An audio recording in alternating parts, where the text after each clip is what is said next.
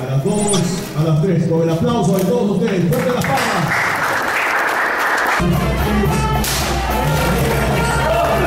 Cada vez están más cerca de la población.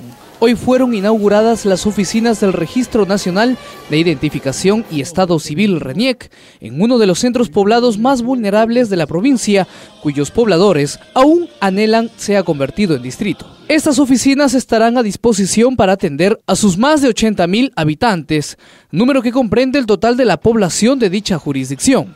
Aquí se ofrecerá todo tipo de servicios, como el trámite de DNIs, partidas de nacimientos, duplicados y renovaciones de dichos documentos.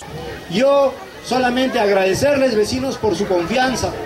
Creo que con esta institución hoy más que nunca se afinca con más fuerza el deseo, el propósito de que Alto Trujillo sea distrito. Es bueno recordarle a la población que no podrá hacer modificaciones en su cambio de domicilio debido a que el padrón electoral fue cerrado a nivel nacional el pasado 7 de junio y será abierto nuevamente después del 5 de octubre.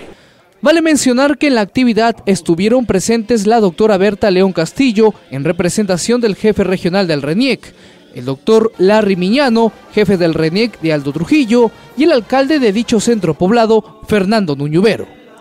Estas oficinas están ubicadas exactamente en la manzana T, lote 3 del barrio 3 de Aldo Trujillo, específicamente a dos cuadras de la comisaría del lugar.